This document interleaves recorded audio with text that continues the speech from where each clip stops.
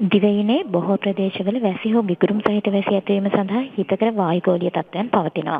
ඒ අනුව අද දිනේදී සතරගමුව මධ්‍යම බස්නාහිර සහ වයඹ පළාත්වලත් මන්නාරම ගාල්ල සහ මාතර දිස්ත්‍රික්කවලත් වැසි හෝ ගිගුරුම් සහිත වැසි ඇතිවේවි. ඒ වගේම දිවයිනේ අනිකුත් ප්‍රදේශවල තැනින් තැන පසුරු දෙකකින් පමණ පසුව වැසි හෝ ගිගුරුම් සහිත වැසි බලාපොරොත්තු වෙනවා. විශේෂයෙන්ම බස්නාහිර සතරගමුව මධ්‍යම සහ වයඹ පළාත්වලත් ඒ වගේම ගාල්ල සහ මාතර දිස්ත්‍රික්කවලත් ඇතැම් ස්ථානවලද මිලිමීටර 75 100ක පමණ තරමක තද වර්ෂාප ආයතනයන්ද ඒ වගේම අනිකුත් ප්‍රදේශවල විශේෂයෙන්ම නැගෙනහිර සහ ඌව පළාත්වල ඇතැම් ස්ථානවලද මිලිමීටර් 50 75ක් පමණ තරමක තද වර්ෂාපතනයන්ද ඇතිවීමේ හැකියාවක් පවතිනවා. ගිගුරුම් සහිත වැසි ඇති වෙන විට එම ප්‍රදේශවල తాවකාලිකව තද සුළං ඇති වෙන්න පුළුවන්. ඒ වගේම අකුණු මගින් සිදුවන අනතුරු අවම කර ගැනීමට අවශ්‍ය පියවර ගන්නා ලෙස ජනතාවට මතක් කරන්න කැමැතියි.